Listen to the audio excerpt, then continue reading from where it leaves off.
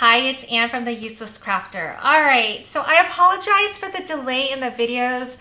Uh, the timing has been crazy. So anyway, I will be back on schedule with hopefully daily videos um, back to what you were seeing earlier in the year. All right, so today we are doing uh, these potato chip bags. I am absolutely in love with them. They're very easy to do. Um, they look amazing. And I know I have the lights on because I want to I want to show you some details of this. So I know it's glaring at, at times, but first off, let's talk about the materials, okay? What you need. I love this little guy. This is the crimper. This is what gives the edge right here. So I know that some crafters, they use, um, they use the I don't know, I don't even know what you call them. The, the scissors that have the, the little edges, right, to make them look nicer. I honestly feel like the crimp makes it look so professional that you don't even need to do anything to the edges. But that could just be me. I don't want to add another tool when I don't have to. I love my tools, but I don't want to add them. So I really like this guy. This guy's from Amazon. It's on my Amazon shop, which is amazon.com slash shop slash the useless crafter. It's under potato chip bag. You're gonna find this. You're also going to find the paper that I use. So it's um, photo paper. It's double-sided. I'm not really sure why it needs to be double-sided. I, I haven't done my full research on it, but it just seems like most of the photo paper comes double-sided. So I want it to be on the cheaper side and just, you know, I only need single-sided because no one's looking on the inside of the potato chip bag. But anyway, this is the one that I bought. I mean, this finish, if you guys have like a bliss spa, like, you know, at the W Hotel, this feels like it could be in there. Like, I could open this up and it would probably have, I don't know, eucalyptus flavored toothpicks or something like that. Um, but they look, the color looks amazing. Um, I just picked this color from Canva and we'll talk about Canva in another video, but that's how I designed these bags. The reason why I went to Canva is because, you know, this is print and cut, right? And I was looking at this as a potato chip bag and print and cut, I, I need something that prints out completely, right? Because this is gonna wrap around like this and we're gonna stick the potato chip bag inside. So I sort of need everything printed as one whole piece, which means I'm limited with print and cut to 6.75 inches by eight and a quarter, right? And what I have printed here is actually 10 and a half inches running this way and six and a quarter this way. So I got more printing by going to Canva and being able to use the whole sheet. So that's why I did that. Um, now, because it is photo paper, you can see this was the first one that I did. And I, you know, I can't tell you why I thought it was a good idea, but I folded the paper. Like I wanted to make this even. There was no need to make it even. It would automatically be even when you uh, when you glue this thing together like that. I don't know. So anyway, when I folded it, the thing about the photo paper is wherever you have folds, you're gonna see the white. That is not like just the camera or the lighting. Where you see this fold and where you see the white, it basically crinkled the paper and my blue got faded away and all I'm seeing is a white crease. So you're gonna see that with these bags. You're not gonna, you don't see it with these two because these two things, I gave it enough space so it you know was able to flatten out. With these chip bags, I needed to fold it right here, or I needed to glue it right here. It The chip bag barely fits in, so it's a one ounce chip bag like this. The ones that are inside, they were the Doritos brand, and it felt like it had more air, so it was puffier. So we'll see if this one ends up being better, but I mean, I'm sorry, but who likes plain Fritos? There's a reason why I'm using this as a sample. It's the one that no one in my household wanted to eat. But anyway, um, so you're going to get these little creases right here. I mean, I think it's okay, but there's no point in trying to pop this out and make it straight because once it has a dent, it the white is showing through. So, but I feel like in mass, like, you know, when you're putting this on a table, this is gonna look amazing. But just know that with the chip bag, it we're sort of stressed for space, okay? So I'm gonna show you how to do that. But before I do that, I just wanna show you, so this right here is the Rice Krispie snack. You can see I sort of, I, I, I haven't figured out the measurements yet because I was trying to understand how Canva works. I love Canva because it comes with so many almost like ready to go um, designs, the colors, the fonts, everything. Um, and so I like it because I went in here and, you know, instead of whatever wording that they had, I changed it to Bear Snacks because I thought it was cute. Fuel for crafters, right? For Bearly Art because I love their glue and I'm on their design team. This is their logo. Um, so I lost my train of thought. Oh, right. So the Rice Krispie bag, like I said, I haven't quite figured out the dimensions yet, but you want to be able to wrap it completely. This is not the project where you want to be frugal and you want to be, you know, like try to get as much as you can from the paper because the way this photo paper works, you're going to get errors if you don't give yourself enough space. You're going to be smushing things in there because consider this and then look at this. These two are both this gummy, right?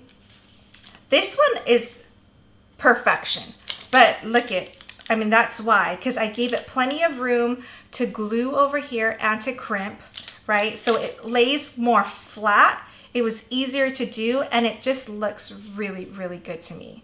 Like I feel like this, like I said, it would be in some like high-end hotel, literally that would have one gummy in there. That's the life I'm striving for. Um, okay, so I'm gonna put that aside. I'm gonna show you how to do this. I will say I didn't really experiment yet um, because I feel like I don't need to experiment with this. I'm just gonna go ahead and say the best glue, the best adhesive to use for this is the Bearly Art glue. And you will see why in a minute. I'm gonna use the precision tip. So here it is. This is just the, the one you put in at night so that it doesn't dry out. It's completely closed and then I can just switch it out and put in my, my tip. You will see that with this precision tip, it puts out just enough glue for you to seal it. And then it dries in like three seconds and because just the right amount of glue comes out, there's no excess glue that comes out, you know, onto the paper or onto your fingers. It really, I mean, it dries so fast. It's amazing. I know some other crafters use double-sided tape. Um, I honestly feel like with the double-sided tape, you don't have any room for error. So as soon as you place it down and it's sticking, eh, you can't move it anymore because it's gonna crinkle the paper. You're gonna get the white marks on here, like I was saying with the, you know, with the bends and whatever. Um, so once you put down, you're down. Whereas with the glue, I can still move a little bit and then hold it for three seconds and it dries. I mean, like I said, I just don't think that I need to experiment with this. You'll see, I, this, you know, I don't like to use glue. If you follow me, I use double-sided tape whenever I can, but really, this is amazing. All right, so let's get started. I the design space, or I'm sorry, not the design space. The design tutorial is going to be separate from this. This is putting it together, okay? All right. So first thing is don't bend, right? We want to just lightly fold over. I'm going to put the glue down. So let me switch out the glue and look how easy this is. This is the closeout tip.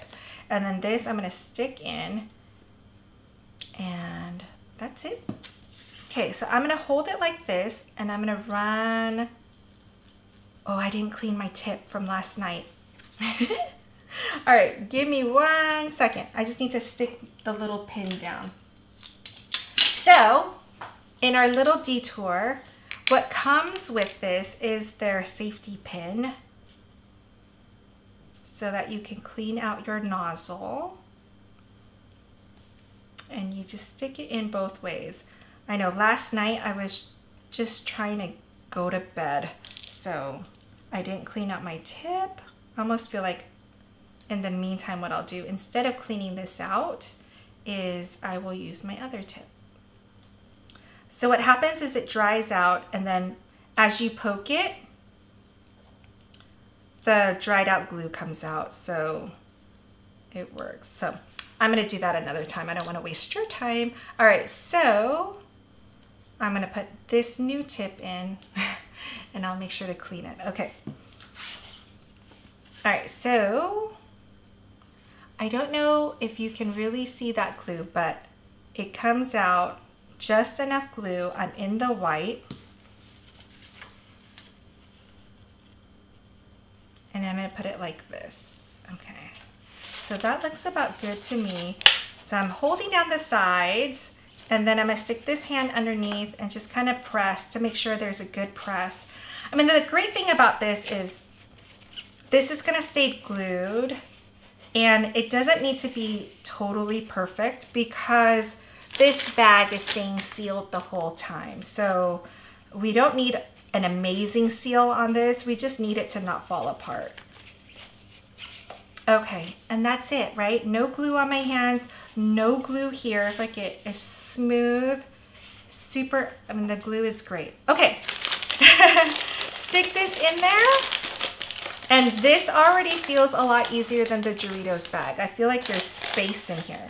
Okay, then I'm gonna take my glue and I'm just gonna put it not all the way to the edge, but not all the way in. I wanna give myself room to move the chip bag down as far as I can to then seal the top, okay? So I'm gonna put it just maybe like a quarter of an inch, just one line.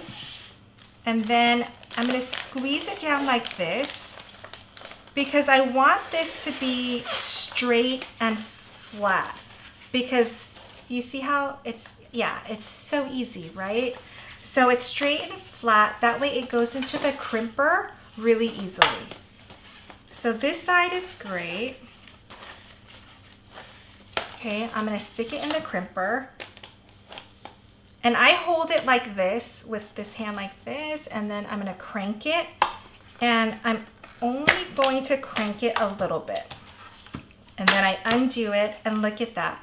It's so beautiful, right? Um, and it's perfectly straight. I mean, I just, I love this project. Um, maybe next time we should do the top first because the top, so once you seal it, because this has enough room, you can see I can make this straight and I'm gonna be able to seal it straight. And there's a little crinkling right here, but that's okay, it's at the bottom. All right, so let's pop this open, put a little bit of glue about a quarter of an inch down or even closer, less than a quarter of an inch, close to the edge. And we're gonna push this out like this so that it's straight. Okay, so maybe now I went closer than a quarter of an inch this time and I did get some glue out, but minor, no big deal